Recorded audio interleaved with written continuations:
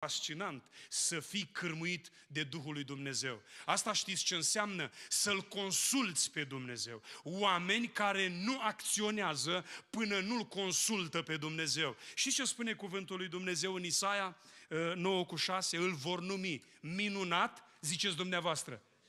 Nu sfeșnic, ci sfetnic, dacă citiți atent.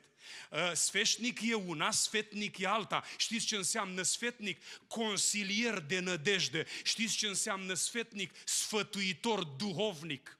În momentul în care, înainte de a lua o decizie generală, principală, importantă în viață sau mai puțin importantă, tare mult se bucură Dumnezeu ca Tată când vin și spun, Doamne, care-i voia Ta? Doamne, ce vrei să fac? Doamne, care este direcția în care trebuie să merg? Este atât de elegant, această idee este extraordinară. Să fii cârmuit de Duhul lui Dumnezeu,